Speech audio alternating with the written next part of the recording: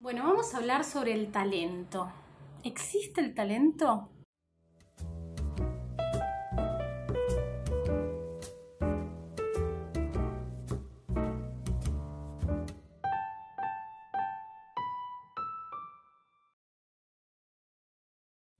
En el video sobre Platón hablamos sobre cómo él habla de una especie de cadena imantada desde de inspiración divina, desde los dioses hasta nosotros, ¿no? pasando por, los poetas, por los intérpretes, eh, y habla de una inspiración divina. ¿no? Estamos hablando de cuatro siglos antes de Cristo. Hay un montón de otras teorías que tienen que ver con esta idea de que hay algo suprahumano que genera el arte. Kant lo va a llamar genio, y obviamente ya eso es mucho después de Platón. Estamos hablando de fines de 1700, principios de 1800. Eh, en el texto La crítica del juicio, donde, donde Kant habla sobre la belleza, eh, habla de que la belleza y la búsqueda de la belleza tiene que ser sin ninguna finalidad, que si tuviera una finalidad ya no sería belleza, que tiene que ser sin interés, sin o sea, que no tiene que haber una búsqueda interesada atrás de la belleza. Y habla del genio, y el concepto de genio tiene que ver con esto de que quien hace la obra, quien tiene el genio, que es innato según Kant, ignora cómo se hizo esa obra, ignora desde dónde vino. ¿sí? Eh, estas teorías se van a llamar irracionales, ¿sí? irracionalistas.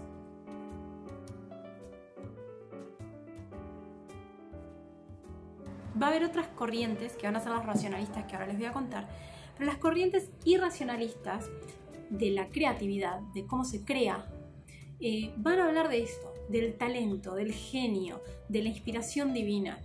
Desde cuatro siglos antes de Cristo hasta hoy se sigue pensando en esto, se sigue pensando que hay algo que se despierta mágicamente y mucha gente en estas corrientes define y enmarca el arte ahí y lo cierra ahí, como que si se lleva a la conciencia perdería eh, su identidad como arte bueno, como bello. Eh, Jung también va a hablar de esto.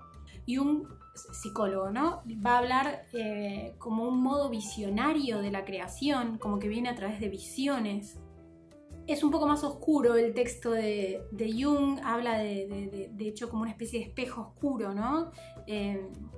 y tiene que ver con esta idea de que cuando vemos una obra o escuchamos una obra o leemos una obra, muchas veces hay algo que se nos escapa del entendimiento, se nos escapa de la conciencia. Sabemos que hay algo ahí que nos, que nos gusta o que nos aterra o que, o que nos estimula de alguna manera, pero no sabemos bien por qué.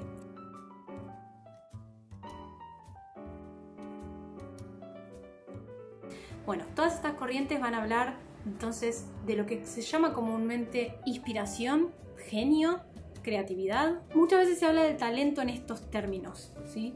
Otras veces se habla del, talento en términos técnicos. Como eh, hablamos en otro video del texto de Platón, Ión, uno de los diálogos de Platón, de los primeros, donde diferencia la inspiración divina de la técnica, más allá de que le daba connotación negativa a una o a la otra, se diferenciaba esta idea de la inspiración versus la técnica. Como que la técnica es algo accesible a aprender por el ser humano y la inspiración es algo que nos es dado. ¿sí? El talento, la palabra talento, que yo en particular no la uso nunca, porque no me gusta lo que implica, por lo general tiene estas dos implicancias.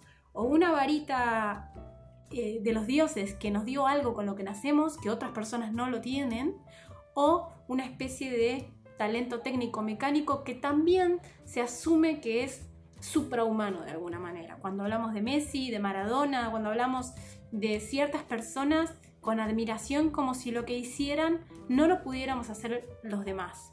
Todo esto me suena muy post siglo XVIII, ¿no? Eh, cuando se empieza a separar al, artista del resto de las personas. Antes no era así. Antes el artista era una persona más. Esta idea de genio creativo, esta idea de hombre, mujer común versus eh, una celebridad, ¿no? La fama, el que está arriba de un escenario versus el que está abajo de un escenario. Todo esto hace que se ponga ese peso en la palabra talento, que lo único que hace es dividirnos como personas. Hay otra corriente, como les decía, que es la corriente racionalista. Uno de los textos más característicos de esta corriente es ni más ni menos que un texto de Edgar Allan Poe. Hay un texto de él que se llama Filosofía de la Composición, donde explica cuál fue su proceso para hacer El Cuervo. Es muy interesante porque le da con un caño ahí a toda esta idea de, que el artista se despierta con una idea maravillosa y, y, la crea y ahí la deja terminadita. Y sin embargo Poe describe como el paso a paso de cómo fue pensando cada una de las cosas que iban a, conjugarse para lograr hacer el cuervo.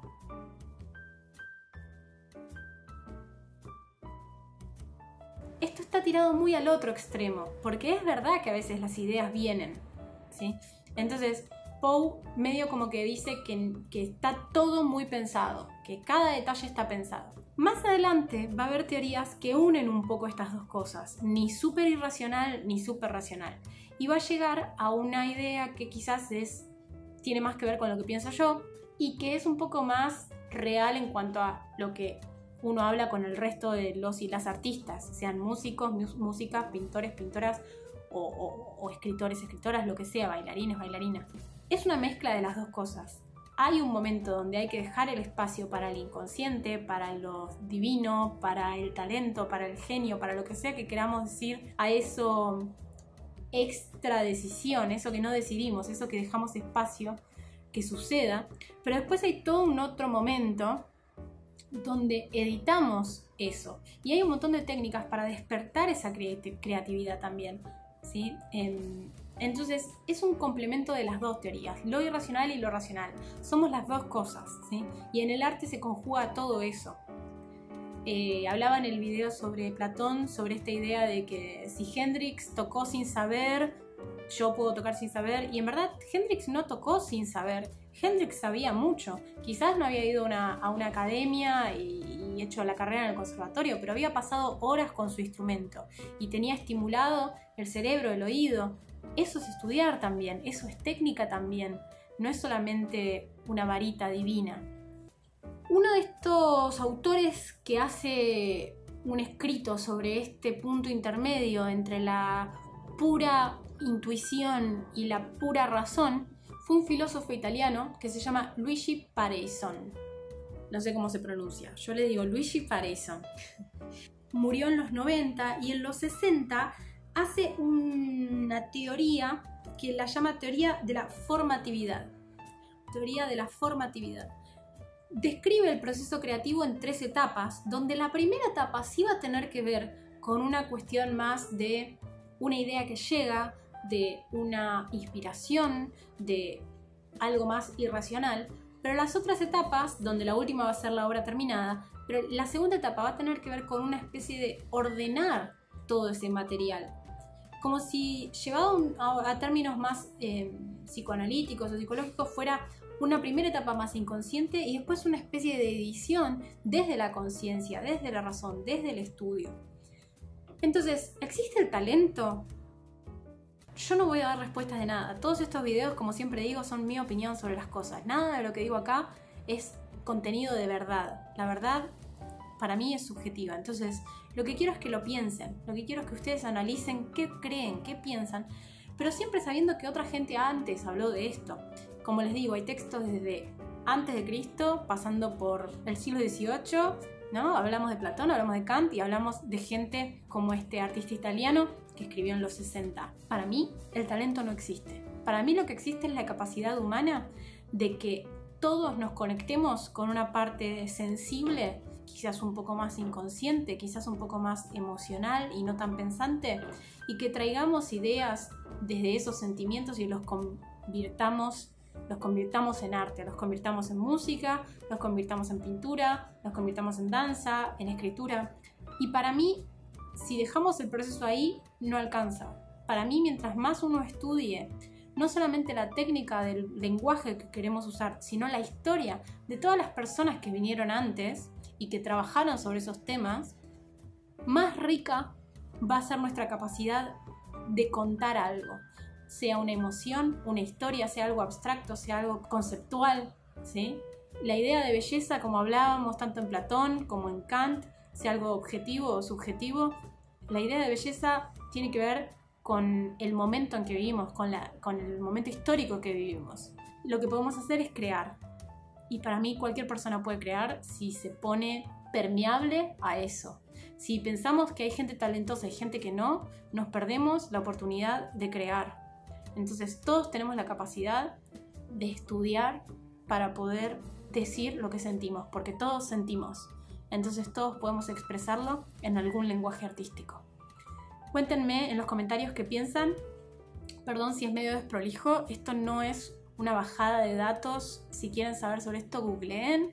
googleen a Kant, googleen a Platón, googleen a Luigi Patterson, googleen el texto de Poe, que está buenísimo. Cualquier cosa me dejan en los comentarios, pero esto simplemente es ni siquiera un análisis, es mi comentario sobre todos estos textos que vengo leyendo y cómo influyeron mi manera de pensar y todos estos pensamientos que despertaron. Déjenme ustedes qué piensan. ¿Existe el talento? ¿No existe el talento? Uno es muy bueno para algo y malísimo para otras cosas. Estoy de acuerdo en eso. Pero ¿qué pasa si dedicáramos tiempo a aquello que no somos tan buenos? ¿Y por qué somos buenos en lo que somos buenos? ¿Le dedicamos mucho tiempo? ¿Le dedicamos poco? Una cosa es la facilidad y otra cosa es el talento, ¿no? Todo esto dejen en los comentarios qué piensan y seguimos hablando en otro video. Espero que les guste, suscríbanse al canal que me sirve mucho para poder seguir haciendo videos y pronto nos vemos en otro video de filosofía del arte totalmente expresado desde mi subjetividad.